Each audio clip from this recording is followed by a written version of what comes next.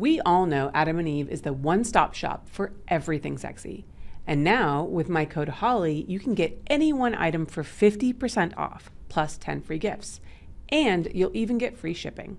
So spice up your sex life at adamandeve.com, but only if you use code HOLLY.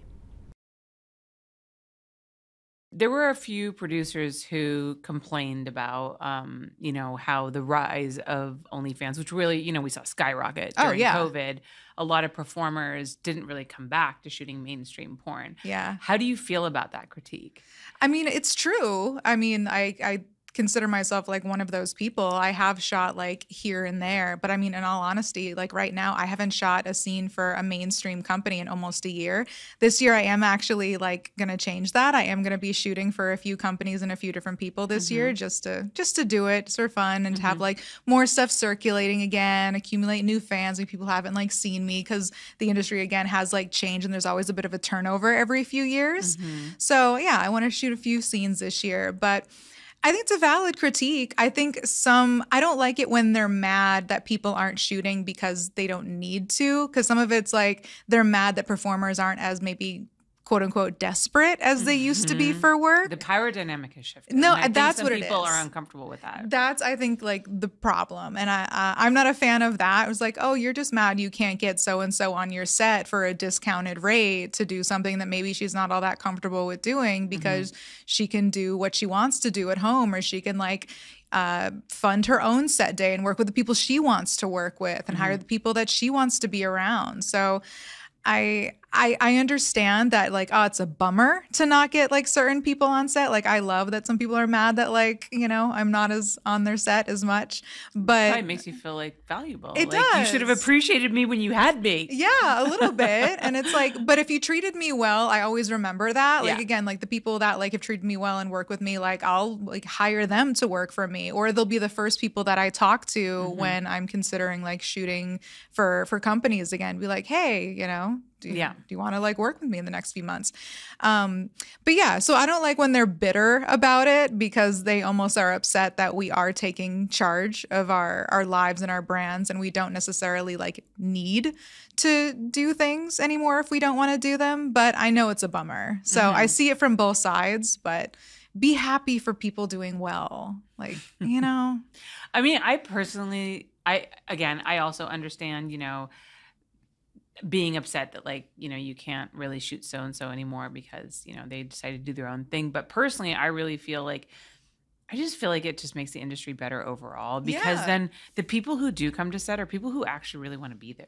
Agree. And I don't, I hate working with people who don't want to be there. Like, if you don't want to be there, like, I don't want you to be here either. Yeah. And there were definitely, you know, times that people would take gigs because they had to, which Yeah. I understand.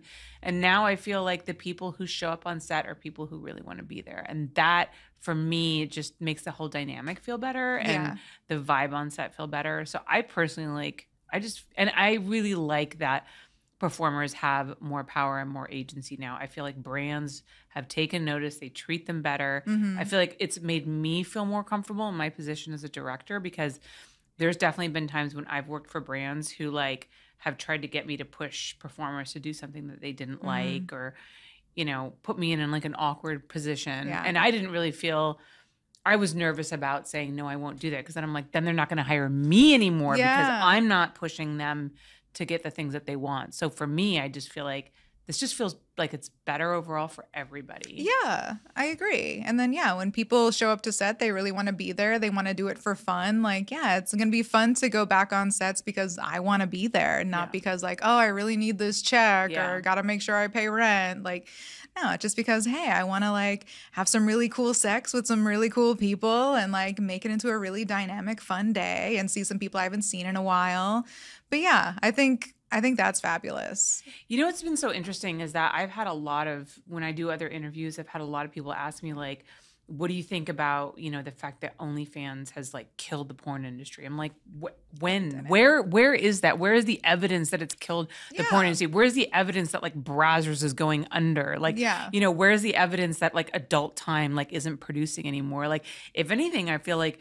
brands are shooting more content now so like this I, and it's just interesting. It's like trying to create this narrative that pitches like the performers against like the studios. Like, yeah, I don't like that. I have seen that, but I would also, on your side, argue the same thing. I think that because OnlyFans made uh, sex work a little bit more mainstream, which it undeniably has. Of course, we still get stigma. Of course, we're still getting shut down, and certain states still hate us and will shut down our websites. But more people are a part of OnlyFans than we you would even think. Like, especially with the pandemic, so many people started creating content and they started realizing, like, oh, I don't have to maybe do uh, super extreme things to be considered like a sex worker. I can maybe like shoot solos or girl girl, like the kind of boy girl things I want to shoot. So I've noticed that people have really kind of crossed over a lot more. I know like that can be a little bit controversial too, because I even know some performers like they don't like that a lot of like like um, people that got started on OnlyFans or got started on like different websites are getting a little bit of attention from brands because they're getting so popular on their own.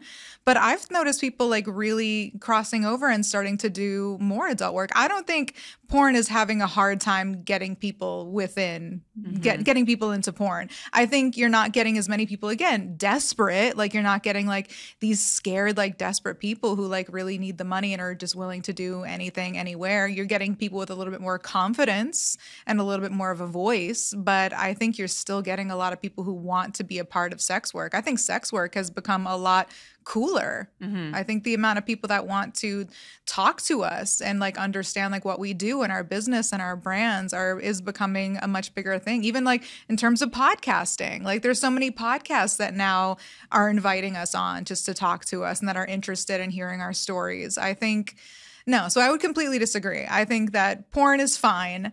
And I mm-hmm. do think that it's actually brought in a whole new kind of group of performers and i just think they're they're stronger minded performers. I think they're more business savvy. I think you're just getting more educated performers in the industry now which as a performer i think is a great thing because it also doesn't like have the cliche of like the industry is super seedy and super dark and you do it out of desperation as like your last resort and there's nowhere to go. So i think it's actually a really cool thing that it's become so mainstream we all know Adam and Eve is the one stop shop for everything sexy. And now, with my code HOLLY, you can get any one item for 50% off, plus 10 free gifts. And you'll even get free shipping. So spice up your sex life at adamandeve.com, but only if you use code HOLLY.